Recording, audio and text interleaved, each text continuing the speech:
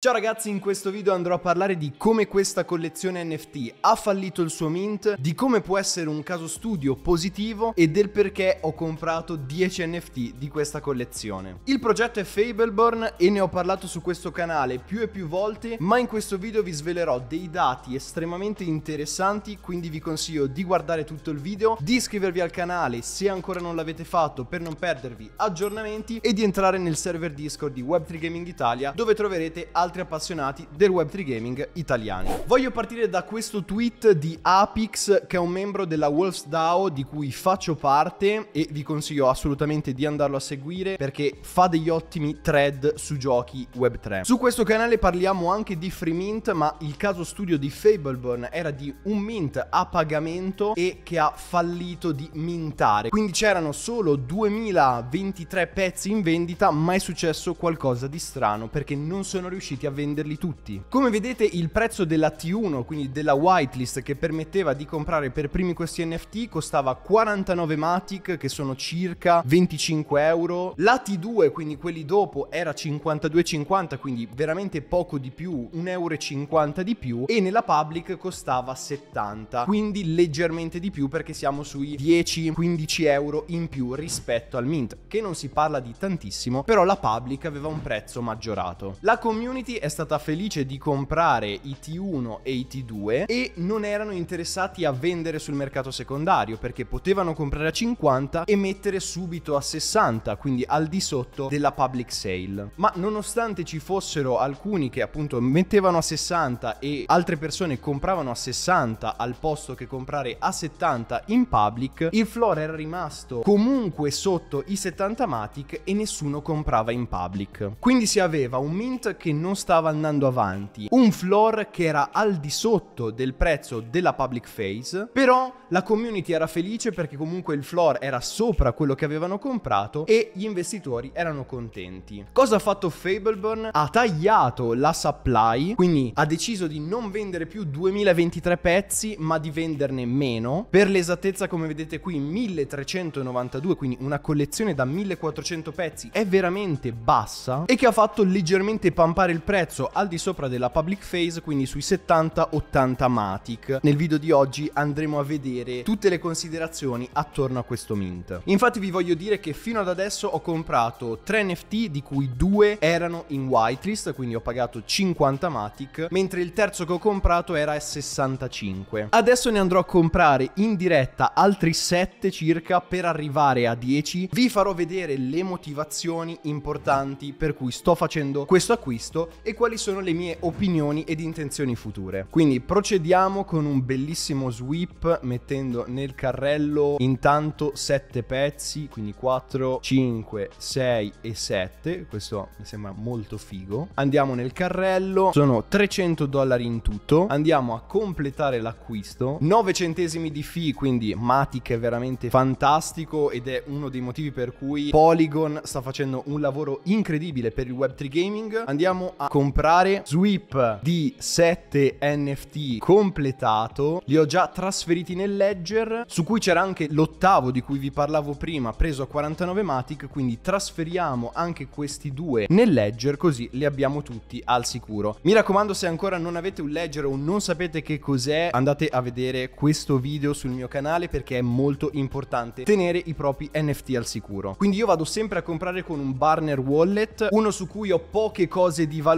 giusto per comprare e poi trasferire al ledger che non collego da nessuna parte. Trasferiamo questi due oggetti, vedete che costerà anche pochissimo, addirittura dice un centesimo di dollaro. Andiamo a leggere il tweet di Spark e poi vi dirò anche le mie considerazioni. Intanto anche Spark fa parte della Wolves DAO che è una delle migliori DAO nello space gaming secondo me e vi consiglio assolutamente di seguirlo perché lui è uno dei GOT degli investimenti. Non è un consiglio finanziario, è giusto seguitelo per curiosità, no? Per vedere questi casi studio. Dice che il gioco è giocabile ed è molto figo. Ha ricevuto 5.5 milioni che io vorrei correggere in 7.8, che è veramente tanta roba in un bear market, su cui ovviamente avete già la mia opinione sul raccogliere 8 milioni di dollari vuol dire tante cose e ve ne parlerò anche in un video futuro, quindi mi raccomando iscrivetevi al canale per non perdervelo. Qui nello screenshot faceva vedere 80 mati Matic, mentre io ne ho appena comprati 7 a 65 Matic. Lui dice che ne ha presi 30 ad una media di 61 Matic. Eh, dovrò raggiungerlo piano piano, appena il floor scende ne compro ancora di più. È uno dei pochi progetti in cui lui si è buttato e onestamente ragazzi lui è uno dei miei preferiti nello space. Aveva scritto le sue idee su Fableborn prima del mint e che lui holderà a lungo termine. Dice che è figo il gioco perché è un'intersezione tra Diablo e Clash of Clans. Avete visto anche sul mio canale c'è il gameplay del gioco, quindi vi consiglio di andarlo a vedere. Hanno un team di qualità e hanno i soldi per fare user acquisition, quindi fare advertising e acquisire giocatori e quindi resistere anche potenzialmente alle difficoltà del beer market. Ora le mie considerazioni finali. 8 milioni di fondi secondo me è un dato importantissimo, un team di esperienza e un concetto di gioco molto interessante ad un prezzo super abbordabile per quanto mi riguarda. Quindi credo assolutamente che continuerò a comprare questi NFT finché si è nel range di 30-50 euro. Mi raccomando, fate sempre i vostri calcoli, io li faccio in base al budget che ho da investire su questi NFT. Quindi mi raccomando, non è un consiglio finanziario, ma è un consiglio di tenere d'occhio questo progetto e vedere come andrà. Perché magari potrebbe fallire, perché nulla è certo, ma potrebbe avere un grande successo e quindi in futuro potremmo essere qui a riparlarne. Tra l'altro avevo dato delle whitelist nel server Discord di Web3 Gaming Italia in modo totalmente gratuito e il prezzo in questo momento è 10 euro sopra al costo per ottenere l'NFT con la whitelist, quindi sono anche contento che gli holders dentro Web3 Gaming Italia abbiano questi NFT ad un prezzo vantaggioso. Quindi mi raccomando, se ancora non ne fate parte, entrate su Web3 Gaming Italia, il link lo trovate in descrizione ed iscrivetevi al canale per non perdervi i prossimi video sul Web3 Gaming. Vi consiglio di guardare la playlist di Fableborn perché ho già parlato molte volte di Fableborn su questo canale oppure il video che vi consiglia YouTube. Mentre scegliete quale guardare, io vi saluto e ci rivediamo al prossimo video.